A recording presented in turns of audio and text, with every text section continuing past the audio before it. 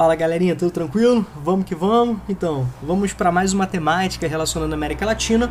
Agora, né, falando sobre exploração mineral, né? Como a gente nos últimos anos, né, trabalhou bastante Brasil, Hoje a gente vai pautar em outros países da América Latina, como México e Argentina, né? Juntamente com o Brasil, são os principais países emergentes. A gente pode perceber que existem muitas semelhanças né, no que se refere à inserção desses países no sistema mundo, seu posicionamento como grandes produtores né, de matérias-primas né, é, in natura ou pouco transformadas, né, numa situação de subserviência tecnológica, financeira certo? Que foram sendo é, inseridos dentro dessa economia global de uma forma né, subserviente, dependente, né, são países subdesenvolvidos, tá legal? Então a gente precisa né, entender também que é, a gente precisa né, ultrapassar determinadas caracterizações históricas né, para poder é, ultrapassar também o estigma do subdesenvolvimento e né, um aspecto, é, infelizmente, né, semelhante aí na maioria dos países da América Latina, tá certo? E ao mesmo tempo, a gente precisa destacar o quanto esse modelo, né, é insustentável, o quanto esse modelo só serviu para favorecer um pequeno número de países, né, de pessoas, de empresas. É como isso é tão ruim, tão agressivo para a qualidade de vida da população, como isso contribui para a perpetuação da concentração fundiária, para o desrespeito, né, aos povos das florestas, à população autóctone, né? A população né, da agricultura familiar, o quanto isso é nocivo né, para a biodiversidade local. E a gente vai tentando, né, a gente vai ao longo do capítulo trabalhar alguns exemplos, trabalhar alguns assuntos e fazendo uma relação com o Brasil. É sempre bom né, a gente puxar para o Brasil para a gente exemplificar, tá legal? Mas vamos lá. O que, que acontece? No período, né, desde o período colonial, a exploração dos recursos naturais né, por parte dos dominadores, dos colonizadores europeus, é, foi uma das marcas né, desse sistema, dentro dessa lógica né, do exclusivo colonial, dentro da política mercantilista que vai servir aos interesses de potências né, marítimas europeias. No primeiro momento, Portugal, Espanha, né? Então a gente está falando aqui do território da Espanha, do atual território né, mexicano, do atual território argentino, que eram possessões né, espanholas, tá legal? O fato é que o solo, os recursos hídricos, os recursos minerais, a vegetação foram sendo, né, progressivamente exploradas por parte, né, da potência colonial. E com isso a gente pode perceber que as contradições sociais, os problemas ambientais, eles remontam, né, um passado muito distante, né? A gente está falando de séculos atrás, tá certo? Só que a gente vai perceber e a gente pode fazer esse posicionamento dentro da própria divisão internacional do trabalho, né? Nós falamos um pouquinho dessa relação metrópole-colônia, onde nós posicionamos, né, os países como fornecedores de recursos primários. Então você tem exploração da vegetação, você tem exploração dos recursos recursos né, naturais, você tem exploração da fauna né, local, certo? Dos recursos hídricos, um desmatamento muito forte, né? um desrespeito muito forte, fora o etnocídio, o genocídio, que a gente não vai né, se, se, se aprofundar aqui. Essa é a verdade. Né? A gente não pode deixar nunca de falar. Mas com a Revolução Industrial, a gente vai perceber que nós temos uma nova etapa da divisão internacional do trabalho. É nesse momento onde nós temos né, potências industriais, inicialmente Inglaterra, mas esse modelo começa né, a avançar para outras partes da Europa, como França, Bélgica, formação de grandes potências industriais mais tarde, né, já no final do século XIX. Nós temos outras potências industriais certo? Inclusive fora da, da, da, lógica europeia, como os Estados Unidos, como o Japão. Então a gente percebe que o mundo entra num novo momento, né? Uma nova etapa da divisão internacional do trabalho, onde você tem potências industriais e potências não industriais. Países industrializados e países ainda não industrializados, tá certo? Dentro desse cenário, o que, que a gente vai perceber? O aumento né, significativo de interesses voltados para a produção de matérias-primas, ou seja, com a revolução industrial você aumenta a capacidade de transformação de matéria-prima, então era necessário que você também fornecesse matéria-prima em grande abundância e diversidade, né? Então era preciso alimentar essas fábricas, era preciso alimentar essas indústrias. Então era um dos interesses da própria lógica do neocolonialismo, né? Que tanto avançou sobre a Ásia, tanto avançou sobre a África, mas também sobre porções da América Latina. Mesmo a América Latina independente politicamente no século XIX, a gente pode perceber que essa situação de fortes fornecedores, fortes exportadores de matérias-primas perpetua-se e amplia-se, né? Então a gente pode perceber que a América Latina passa passa a ser alvo de investimentos de capitais, chegada de grandes né, investimentos privados com apoio de governos de grandes, né, das grandes potências, né, sobretudo aí europeias, tá certo? Três nacionais chegando, ávidas por áreas de investimento de capitais, por mercados consumidores, mas também por matérias-primas. Então aumenta e aumenta muito, né? Esses estímulos. Já no século XX, o que, que, a gente pode perceber? Um novo dinamismo né, mundial. A gente pode né, analisar todo o avanço né, da industrialização no pós-Segunda Guerra Mundial, um espalhamento muito forte, uma emergência né, de países econômicos e uma realidade como, por exemplo, de uma Ásia né, em crescente expansão urbano-industrial, tendo a China aí como ponta de lança e se tornando um importante parceiro comercial é, dos países latino-americanos, né, trazendo investimentos né, em rodovias, ferrovias, recursos energéticos e também sendo grande, né, sendo uma grande compradora, sobretudo de commodities, né, essas mercadorias de grande importância internacional que são discutidas, são debatidas em bolsas de valores, né, tanto commodities agrícolas como commodities né, minerais, como por exemplo o minério de ferro. Quando a gente fala de commodities agrícolas, a gente não pode esquecer da, né, da nossa soja aqui, certo? Então, dentro desse cenário, né, dessa desconstrução industrial, dessa fábrica global, né, de um de uma emergência muito grande, há uma exigência muito forte, né, sobre commodities minerais, como por exemplo, né, bauxito, cobre, o nióbio, o ouro, o níquel, o zinco, o petróleo, né, o ferro. A gente não pode esquecer nunca e a América Latina, de uma forma geral, uma parte significativa dela, devido né, às suas características geológicas, elas apresentam importantes reservas, né, importantes jazidas. No que a gente fala sobre os minerais metálicos, a gente pensa nas áreas cratônicas, né, nos escudos cristalinos, né, compostos por rochas magmáticas e rochas né, metamórficas. Quando a gente pensa nos recursos minerais energéticos, como petróleo e gás natural, a gente pensa né, nas bacias sedimentares, né? Então a gente pode perceber que a América Latina é riquíssima. Só para a gente pegar um gancho, é, quando a Venezuela foi oficializada como membro né, do Mercosul, membro efetivo do Mercosul, é, o Mercosul se tornou o primeiro bloco econômico autossuficiente em recursos energéticos. Olha o potencial né, energético da América Latina. Isso atrai, obviamente, né, a atenção de fortes investidores, de grandes empresas, né? ávidas unicamente, né, é, por lucro, né, por lucro. Então você pode perceber o seguinte, né, sempre aquela historinha que eu sempre falo para vocês. Se você tem aqui, né, uma determinada realidade, onde os interesses econômicos, os interesses econômicos, eles são maiores, né, do que os interesses sociais ambientais, deixando de lado a segundo, terceiro, quinto plano, né, digamos assim, os interesses sociais ambientais, a gente pode perceber que vai ter, né, como resultado problemáticas, mazelas sociais, ambientais, muitas, né, já vistas como irreversíveis, né, vistas como irreversíveis. Então a gente fala o seguinte, quando a gente pensa na questão ambiental, né, que eu quero que você entenda, que você vai ter prejuízo para o solo, que você vai ter prejuízo para as áreas de vegetação natural, que você vai ter prejuízo para a fauna, que você vai ter prejuízo para a atmosfera, para os recursos hídricos. Então você vai ter problemáticas severas para a atmosfera, para a biosfera, para a litosfera, né, para a hidrosfera. Então eu quero que você pense nisso, né? Então você começa a perceber o quanto isso é nocivo para o solo, para um processo de desgaste, de contaminação, de erosão, de compactação desse solo, né, de contaminação desse solo, os recursos hídricos né, sendo utilizados de forma também insustentável, né, extremamente é, comprometidos pelas atividades ligadas à pecuária, à mineração. Lembre-se né, que as atividades de mineração necessitam de muita água, inclusive utilizando né, elementos como mercúrio, metais pesados, né, cianureto, tá? Que são extremamente contaminantes certo?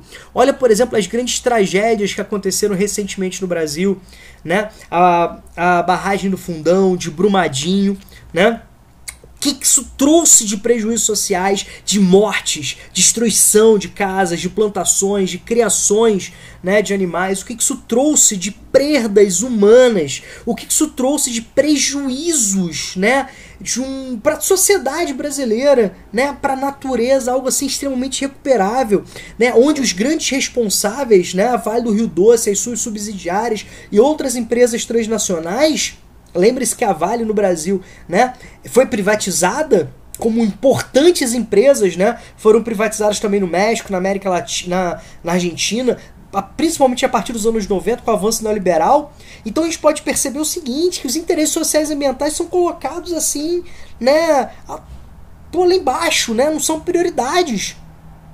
Então, assim, pegando o gancho do Brasil, como a gente estava falando, cara, essas empresas ainda não foram punidas, não foram responsabilizadas. Existe N né, é, exemplos de impactos ambientais provocados por um processo de exploração nocivo, que não segue as diretrizes ambientais, a legislação, as regras, e uma impunidade extremamente forte, né, uma lógica extremamente né, insustentável do ponto de vista ecológico, certo?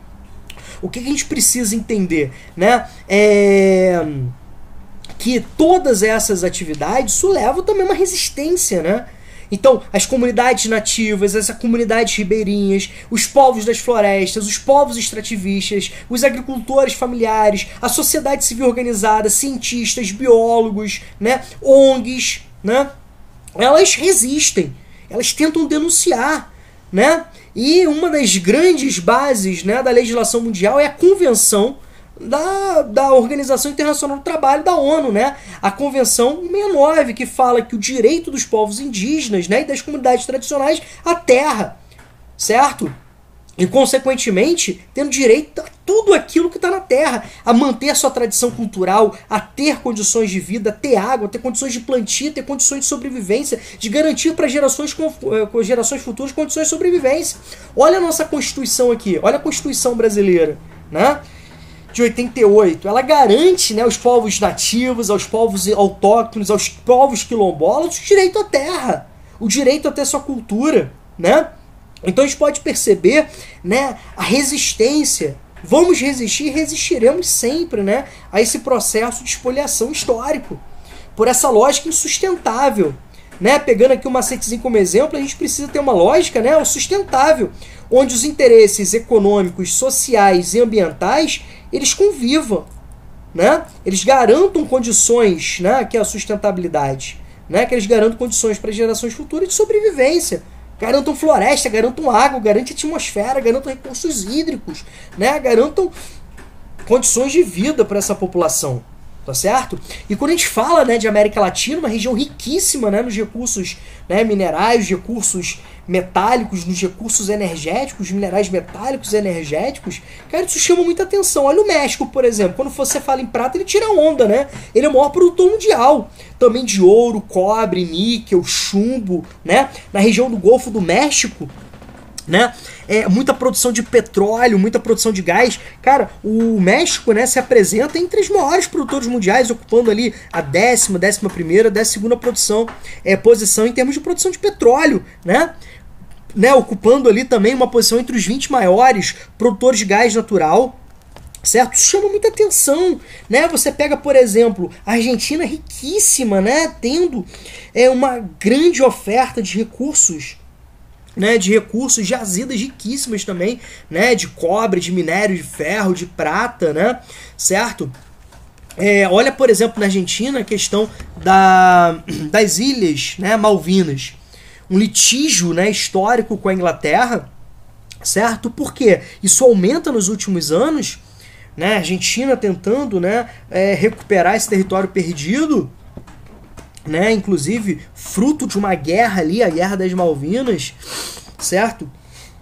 Onde, onde os ingleses saíram vitoriosos. E recentemente, né, nos últimas décadas aí, foi progressivamente foram apresentados que é uma área riquíssima, né? Tem petróleo, tem recursos energéticos, tem recursos minerais, né, nessa região. Então a Argentina também é riquíssima, riquíssima, riquíssima. E como o Brasil também não aproveita todo o seu potencial natural, tem uma matriz energética muito suja, muito pautada no petróleo, no gás, inclusive para aquecimento doméstico. Lembre que a Argentina, né, está em posição latitudinal muito maior do que do Brasil, né? É muito mais afastada que o Brasil termos, né? Isso interfere em termos climáticos, onde você tem o aquecimento das casas feitos através do gás natural. É, inclusive, nos últimos governos, né, nós tivemos aí elevações muito fortes do, do, preço do gás. Isso prejudicou, inclusive, as famílias pobres, porque eles precisam do gás para aquecer as casas. Né? E você não tem esse aproveitamento, como, por exemplo, na região da Patagônia, que tem um potencial eólico absurdo. Né? Você tem muito né, potencial ali nessa região para instalação de parques eólicos. Então, assim, a gente pode perceber que a Argentina, né, o seu aproveitamento está muito aquém.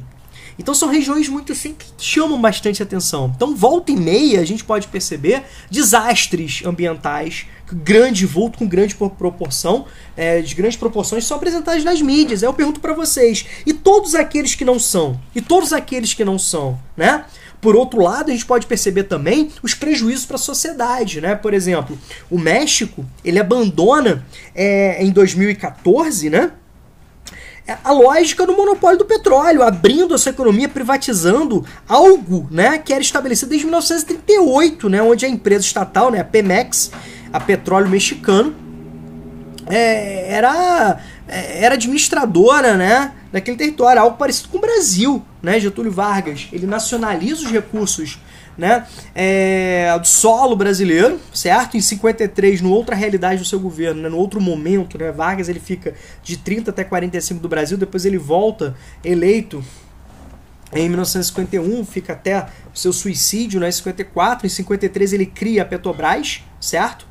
E esse, esse monopólio né, permanece até os anos 90, quando a Petrobras começa a ser privatizada, começa a perder né, esse monopólio a partir do governo Fernando Henrique Cardoso e só vem avançando nos últimos anos. Olha a questão do pré-sal do Brasil, né?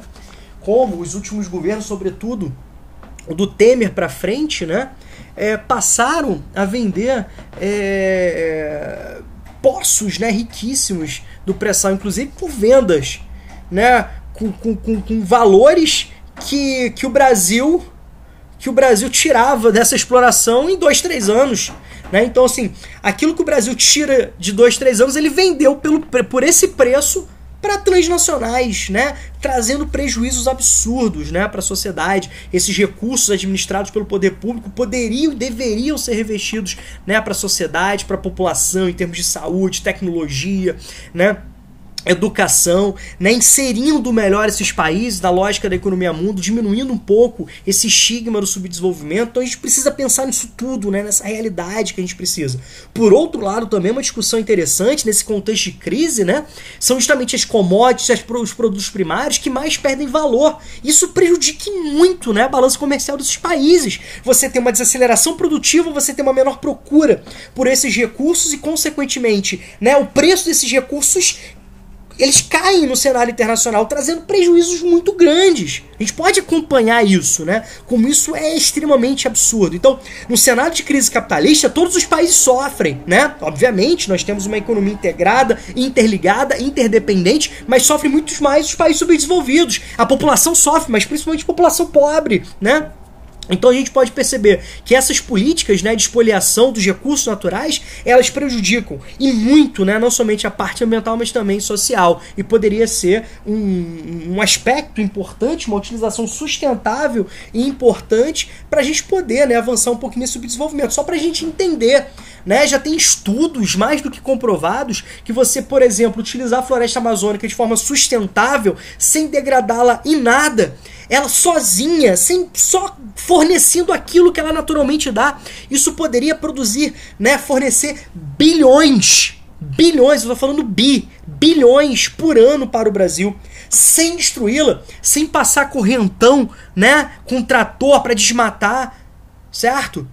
Lembre-se, né, que o Brasil é o país que mais desmata, que mais destrói no mundo, que mais queima floresta no mundo. O Brasil é um dos países mais sujos do mundo, né? Então a gente precisa entender esses aspectos também, tá certo?